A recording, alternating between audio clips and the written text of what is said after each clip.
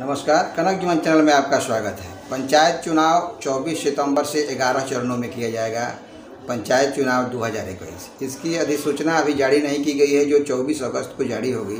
लेकिन मीटिंग के दौरान यह बातें सामने निकल कर आई है कि पंचायत चुनाव 2021 24 सितंबर से कराया जाए। तो इसमें 11 चरणों में पंचायत चुनाव होंगे, जिसमें पहला चरण 24 सितंबर को होगा, दूसरा चरण 29 सितंबर को, तीसरा चरण 8 अक्टूबर को, चौथा चरण 20 अक्टूबर को, पांचवा चरण 24 अक्टूबर को, छठा चरण 3 नवंबर को, सातवां चरण 15 नवंबर को, आठवां चरण 24 नवंबर को, नौवां चरण 29 नवंबर को, दसवां चरण 8 दिसंबर को, ग्यारहवां चरण 12 दिसंबर 2021 को।